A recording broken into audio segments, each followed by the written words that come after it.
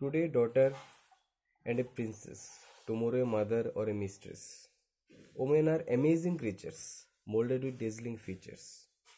Women are an object of mystery, have their own place in history. Women are great.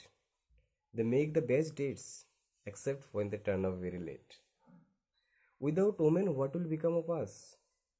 No more noises on the bus, no one to make all the fuss. Without women, what will become of men? Who will teach them how to behave and learn? Women are spicy ingredients of romance, and women are a juicy parent of importance. Women are a heavenly treasure, the epitome of human pleasure. Happy International Women's Day, guys.